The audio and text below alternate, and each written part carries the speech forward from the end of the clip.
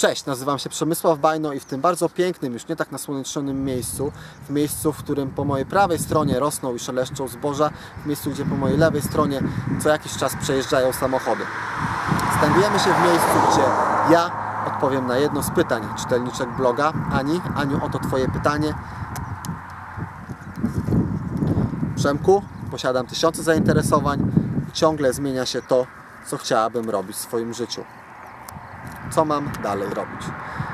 Otóż Aniu, chciałbym Ci podziękować za to bardzo mądre, powtarzające się przez co najmniej 3 lata pytanie. E, chciałbym Ci również pogratulować, ponieważ Ty obecnie jesteś na bardzo dobrej drodze. A dlaczego? Już Ci wyjaśnię. Otóż my teraz znajdujemy się przed znakiem miasta Kolno, znajdujemy się przed e, moim rodzinnym miastem, przed miastem, które otrzymało prawa miejskie w roku 1425, e, co jest również ciekawe, przed, miast, przed rokiem 1422 Kolno było pisane przez C. E, ta metafora jest po to, e, żeby zadać Ci pytanie, jeżeli na przykład chciałabyś, Aniu, znaleźć Kolno na mapie województwa podlaskiego, kupionej w roku, dajmy na to, 932, czy kolno e, takie znane, e, na przykład pisane przez K, bądź e, znane w chwili obecnej, czy, czy takie kolno byś znalazła? No właśnie, dlatego Ty Aniu na chwilę obecną robisz bardzo wiele rzeczy, tak? Określasz się tysiącami i nazywasz się zainteresowaniami, co jest również ciekawe, ponieważ rzeczy nie nazywają się bez powodu i my, nasze logiczne, nasze umysłowe, nasz umysłowy świat przedstawiamy często dosłownie w sposób werbalny. Ty nazywasz te czynności zainteresowaniami, tak? Dlaczego one są zainteresowaniami? Ponieważ na chwilę obecną Ty dostajesz pozytywny feedback od strony tych, tych czynności i dzięki temu je kontynuujesz i nazywasz zainteresowaniami.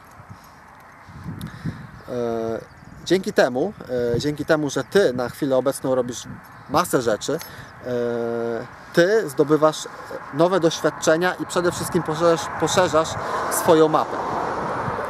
Jeżeli Aniu chciałabyś odnaleźć skarb i miałabyś mapę, która jest niekompletna, jeżeli miałabyś mapę, która jest e, nieaktualna, czy ten skarb odnalazłabyś? Jakie byłyby szanse na to, żebyś ten skarb odnalazła?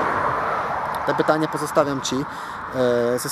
E, ze swojej strony chciałbym tylko e, dodać, iż jeżeli e, ktoś może mówić, że nie wiem, być może masz słomiany zapał, e, może mówić różne rzeczy, e, to wiedz, iż jeżeli na przykład na, na chwilę obecną robisz tysiąc rzeczy, rób, rób ich 2000, rób ich 10 tysięcy, rób ich 100 tysięcy,